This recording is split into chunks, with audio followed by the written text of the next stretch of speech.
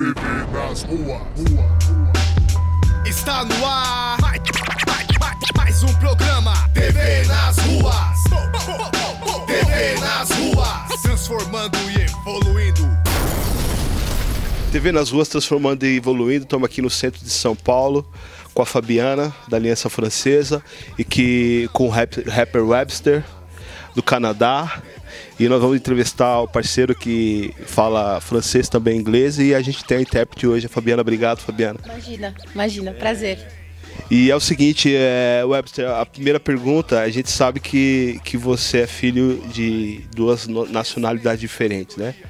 É, uma, um, um pai é, da África e uma mãe canadense, né? E, e conta para nós como é que foi criar, é, viver, é, crescer nesse ambiente é, no Canadá, onde você tem influência de dois países, de duas culturas diferentes. Bon, il te demande, ils savent que tu, as, tu es né de parents mixtes, mixtes euh, parents, un père sénégalais et une mère canadienne. Et comment ça se passe, comment s'est passé votre, votre enfance, comment, comment ça a été d'être enfant de parents mixtes? Obrigado. Euh, donc, je suis né euh, à Québec euh, d'un père sénégalais, d'une mère québécoise. et pour moi, j'ai grandi au Québec, en Occident, mais avec des valeurs africaines aussi. Et donc, ça m'a permis de connaître deux cultures, deux modes de vie et d'avoir une double identité aussi. Parce que le métissage d'un côté, quand je, suis au Québec, chez les Blancs, je suis vu comme un nègre. Et quand je suis au, Sénégal, chez les Noirs, je suis vu comme un blanc, comme un toubab. Et donc, ce métissage m'a amené à me construire une, une identité propre. Donc, noir, blanc, mais avant tout, terrien. Mais le, Québec fait partie de moi, le Sénégal fait partie de moi, fait partie de ma musique aussi. Et euh, j'essaie toujours de passer beaucoup de temps au Sénégal avec la culture hip-hop là-bas qui est très présente. Et euh, tout ça fait ce que je suis, en fait. Ele disse que ele cresceu, a mãe dele é do Quebec, do Canadá, e o pai é do Senegal. Então ele cresceu sempre nessas duas culturas, numa cultura de Ocidente, que é a cultura do Canadá, mas ele também teve presente muitos valores africanos. É, então por isso ele se diz uma pessoa que conhece duas culturas e tem uma dois modos de vida diferentes, diferentes. O modo de vida africano, por causa do pai, e o, o, do Canadá do Ocidente, por causa da mãe. E essa, como ele é mestiço, considerado mestiço, quando ele está com os brancos no Canadá, ele é enxergado como negro. E quando ele está é, na África, com, no Senegal, ele é visto como branco. É, então é uma, uma, é uma dupla identidade, um jogo de identidade, mas que finalmente ele é negro, branco e ele é um habitante da Terra. Ele é tudo isso junto. E o Quebec, o Senegal estão é, sempre presentes na música dele e ele sempre vai para lá. É, a cultura do hip hop é bem forte no Senegal e e é isso que ele diz. É, é, o seguinte, a segunda, a segunda pergunta é como é que você conheceu o hip hop é, como é que foi o seu primeiro encontro? O que, que você ouviu? Por que, que você se apaixonou é, em fazer essa pegada do hip hop, né? Comment tu as connu le hip-hop Comment tu as commencé dans ce monde, cette culture? Comment tu as commencé à travailler avec ça? C'est les débuts de, avec le hip-hop. Donc, euh, j'ai commencé en 1900, ah, ah, commencé à faire du rap en 1995, euh, mais j'ai commencé à écouter du rap dès 1990, euh, du rap américain, que ce soit Black Moon, Gangstar, Daz FX. Et puis, je rappais beaucoup les, les, textes des rappeurs américains, Tupac, Biggie, Wu-Tang, Snoop Dogg. Et j'ai décidé que j'allais faire moi-même. J'ai dit, pourquoi pas moi-même? Et donc, 95, j'ai commencé à écrire, écrire, écrire, écrire. Et aussi, c'était beaucoup des, des cyphers. On est plusieurs. Et là, on rappe, on rappe, on rappe euh, dans l'autobus, dans les restaurants, euh, partout. Et donc, c'est comme ça que je suis rentré en contact avec la culture hip-hop. Et ensuite, j'ai commencé à faire des concerts, des albums. C'est devenu de plus en plus sérieux jusqu'à ce que ça devienne un métier et que je voyage partout sur Terre. Ele começou a escutar rap nos anos 90, então a partir de, de 1990. É, então ele começou ouvindo rap americano, ele citou vários artistas que vocês conhecem. É, mas ele começou, ele, e ele fazia muito, começou a, a fazer as próprias letras a partir do que ele ouvia dos americanos. E ele se perguntou por que, que eu não posso fazer o mesmo os meus raps. Então em 95 ele começou a escrever e escreveu muito, começou um trabalho de escrita bem grande e também a batida que ele fez para vocês é, no ônibus, em todo lugar que ele estava. E, e aí foi se transformando numa coisa maior, ele começou a fazer shows e discos e virou uma profissão e é isso.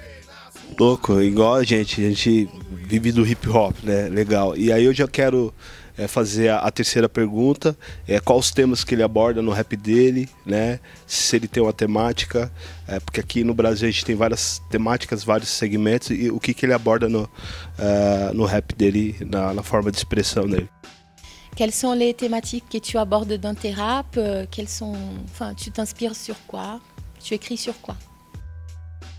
Donc euh, c'est très large. Euh, avant, j'avais un rap qui était plutôt engagé, politique, social. Et avec le temps, j'ai dégagé un peu mon rap de cet aspect pour toucher à tout ce que je pouvais toucher. Et donc, tant que ma vie demeure engagée, que je sois engagé socialement dans la vie de tous les jours, je peux rapper à propos de bien des choses. Euh, je rappe beaucoup à propos de l'histoire, parce que je suis historien de formation, et c'est quelque chose qui me passionne. Euh, je rappe à propos de la vie, de l'univers, euh, de philosophie, tout ce qui peut m'intéresser. Et pour moi, souvent on me demande quel type de rap tu fais. Et ce que je dis aux gens, c'est que je fais le type de rap qui va te faire devenir astronaute. Je fais le type de rap qui, te va, qui va te faire guérir le sida, qui va te faire passer tes cours. Donc du rap qui amène les gens à se dépasser, du rap de, de motivation. Parce que tout ce qu'on fait est énergie. Et donc, pour moi, il est important, à travers la musique, de propager une énergie positive pour qu'on puisse avancer en tant que société, pour qu'on puisse avancer en tant qu'être humain. As temáticas que ele usa são bastante amplas. Então ele começou como um, com um rap engajado, político, mas ele foi se afastando um pouco no tempo é, do rap engajado, porque ele já tem uma vida engajada socialmente. E ele se disse que ele, se ele se engaja socialmente, ele pode falar de tudo. É, então ele fala da vida, do universo, de filosofia, de tudo que, que interessa para ele. E o objetivo dele é fazer música para para transformar as pessoas em astronautas, fazer as pessoas saírem do, dos seus limites, ultrapassarem os seus limites. E, e para ele, tudo que a gente faz na Terra é energia. Então, a, a ideia dele é de propagar essa energia e com a, através da música dele. Legal, muito louco. Uh, a quarta pergunta, filósofo, gosta de filosofia também, muito bom. Uh, se ele é, a quarta pergunta seria se ele conhece o hip hop do Brasil, o rap do Brasil, o movimento, se ele conhece, o que, que ele acha é, de interessante é, na nossa rapaziada de, do lado de, de, de cá, né, do Atlântico. Uhum. Si tu connais euh, le mouvement euh, brésilien de rap, des artistes, euh, et ce que tu en penses, si tu connais, qu'est-ce que tu penses de ces mouvements du Sud Euh, je connais pas beaucoup, malheureusement, mais ce que j'ai entendu, j'adore. Je trouve que le, le flow portugais est excellent. Euh, celui que je connais le mieux, c'est Rincon. Sapienza. Euh, ouais, et donc c'est, c'est un ami. Ah, that's my man. What up, Rincon? yeah. Et, et donc, on s'est rencontrés au Sénégal il y a quelques années. Et depuis lors, on est resté en contact. Euh, on a fait des chansons ensemble. On a, on, a fait un concert ensemble à Campinas il y a quelques jours. Et euh, donc, c'est quelqu'un que je trouve très, très fort. Même si je ne comprends pas tout, euh, de ce que j'ai compris, c'est très bon. Et du mouvement hip-hop, niveau graffiti aussi, Il y a Alexandre Keto, qui est un graffeur que j'ai rencontré à Dakar aussi en même temps. On est resté en contact très très proche aussi. Euh, quelqu'un pour qui j'ai beaucoup de respect, que je trouve les pièces vraiment, vraiment très bonnes et qu'on s'est vu en France, à Paris aussi, et que je sais que lui voyage beaucoup aussi. Et donc c'est toujours motivant de voir les frères, les sœurs, les collègues aller de l'avant dans leur art. É, ele diz que, infelizmente, ele não conhece muito, mas o que ele conhece, ele adora. E, e ele acha que o ritmo do português é muito bom para a cultura do hip hop, o ritmo da língua portuguesa. E ele citou o Rincon, que ele conhece, que ele conheceu no Senegal. E eles fizeram contato, eles continuam em contato. Eles já fizeram música juntos e fizeram um show em, em Campinas também juntos. É, mesmo e ele adora, mesmo que ele não compreenda toda tudo que, que é dito, mesmo que não entenda tudo. E da cultura de grafite ele citou o Alexandre Queto, Alexandre Queto é, do, do grafite, que ele também conheceu no Senegal e que ele sabe que é um artista que viaja muito e que é muito bom ver os, os irmãos e as irmãs fazendo o trabalho deles. Ok, não vamos cansar muito ele, que ele vai, ele vai fazer um show daqui a pouco. E a gente gosta muito. Legal conhecer a história dele. A quinta pergunta a gente queria saber qual é a visão dele, porque é o seguinte: a, o cenário mundial político mudou um pouco ou da, drasticamente com a, com a eleição do Donald Trump. Uh, a gente aqui uh, do lado de cá, uh, a gente está muito apreensivo com algumas questões, Oriente Médio, e como é que a rapaziada lá da quebrada dele e ele, tem, como é que eles estão vendo essa, essa no, esse novo rumo político que, que esse, esse presidente, uma das maiores potências do, do mundo, está querendo dar para a humanidade. Alors c'est une question plus politique, c'est à propos de Donald Trump. Euh, parce que nous sommes un peu appréhensifs euh, au sud, parce que enfin on connaît tous ses propos, et il, te demande ce que tu en penses et ce que ce qu'on ressent au Canada, parce que vous êtes plus près, et voilà. Eh bien, on le ressent aussi beaucoup parce que ce sont nos voisins. Et euh, il y a déjà une, une augmentation de gens qui fuient les États-Unis pour venir se réfugier au Canada avec raison, je les comprends. Euh, je crois que oui, on est à une époque où euh, il y a beaucoup de négativité en politique et en société, que ce soit Donald Trump, que ce soit Marine Le Pen en France, le Brexit, euh, le, politicien d'extrême droite qui a failli passer aux Pays-Bas cette semaine, en Autriche il n'y a pas longtemps.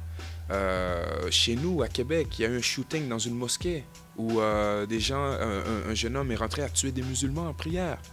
Et donc, il y a une montée de la droite, de l'extrême droite, et je crois que on doit s'y opposer de toute manière, et surtout à travers l'éducation et à travers la culture.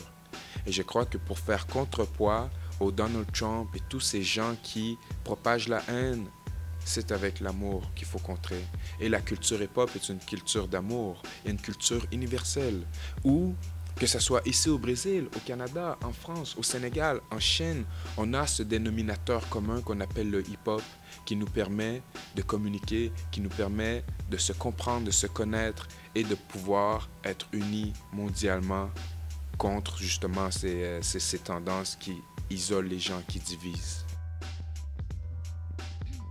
Ele disse que no Canadá também se sente muito porque eles são vizinhos dos Estados Unidos e eles já têm um aumento de refugiados indo é, morar no Canadá. É, e, na verdade, é uma, uma época muito difícil no mundo. E ele citou vários políticos de extrema-direita, então, na França, na Holanda, é, e a gente sabe aqui no Brasil. É, então, é um, é, mesmo no Canadá, teve um ataque a, uma mesquita, as pessoas estavam rezando, então, um ataque ao povo muçulmano.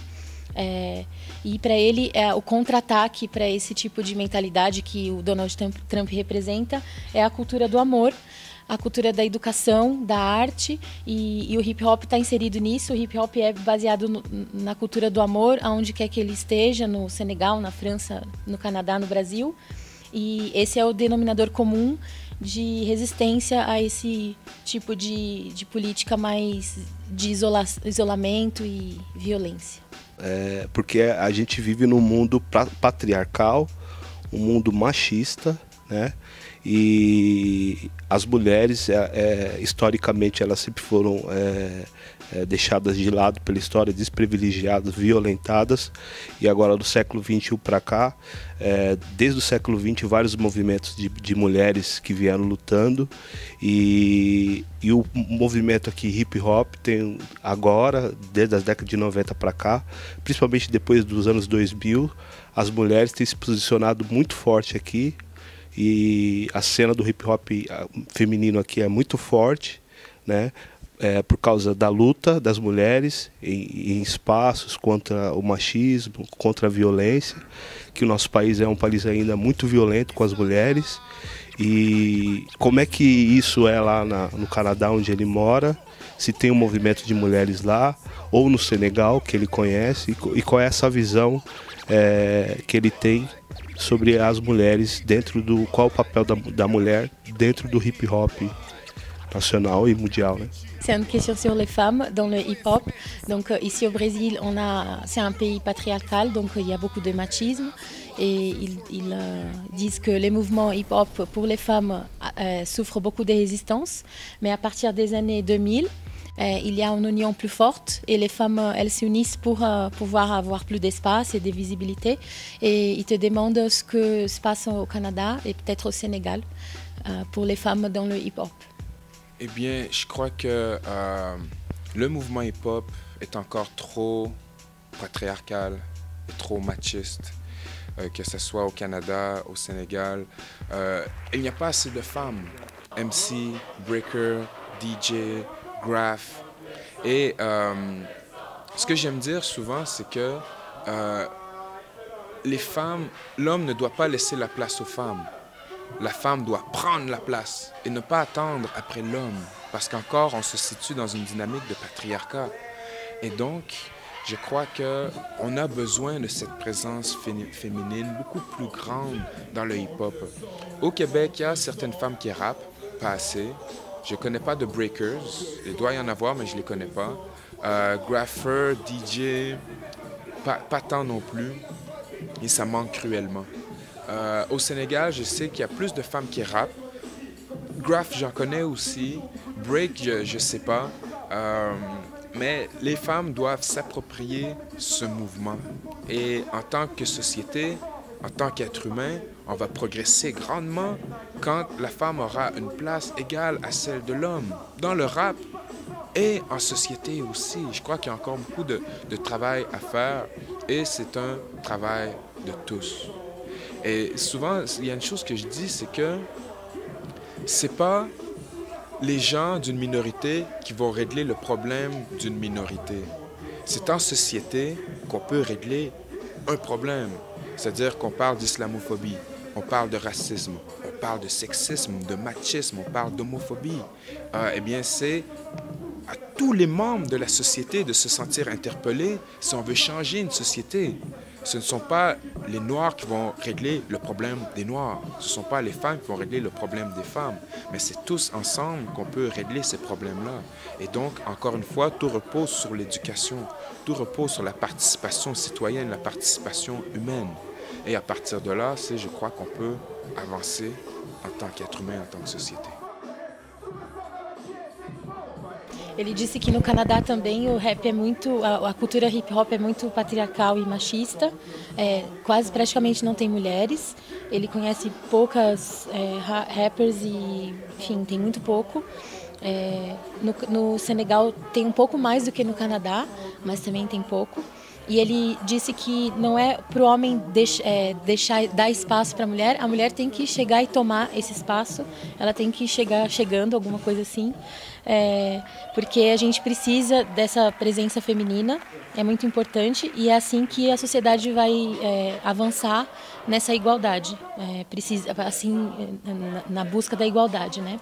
E ele disse uma coisa no final que para ele não são as minorias que vão resolver os problemas das minorias, é a sociedade como um todo. Então, a gente fala de islamofobia, ou racismo, ou sexismo, não são os negros que vão resolver os problemas dos negros, nem os muçulmanos que vão resolver os problemas deles, é a sociedade como um todo, e para isso a educação, é, a participação cidadã é, e humana nas causas é o que vai é, trazer resultados para o todo, para a comunidade inteira, para o mundo.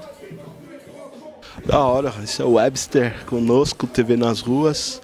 E eu vou deixar o microfone aberto, porque a gente tem o costume de, quando a gente entrevista os artistas e busca as histórias, deixar o microfone aberto para a pessoa é, falar o que, é, o que ela quiser, alguma coisa que a gente não abordou e que ele acha importante falar, e deixar um recado lá para a câmera, para quem está nos assistindo. É, é isso aí. Donc le micro est ouvert à toi, tu peux laisser un message, dire ce que tu juges important et pour les caméras, pour les gens qui nous regardent.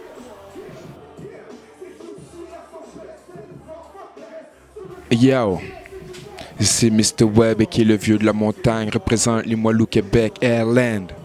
Tout ce que je veux dire à mes gens partout au Brésil, c'est One Love. On avance ensemble, faut pas attendre, faut avancer.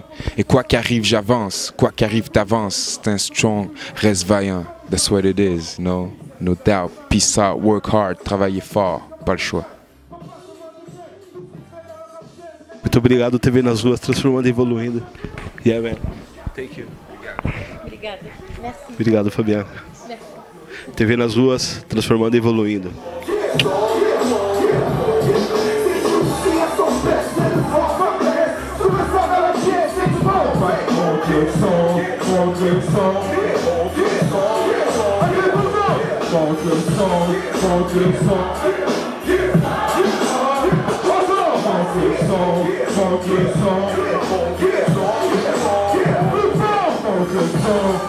to fall.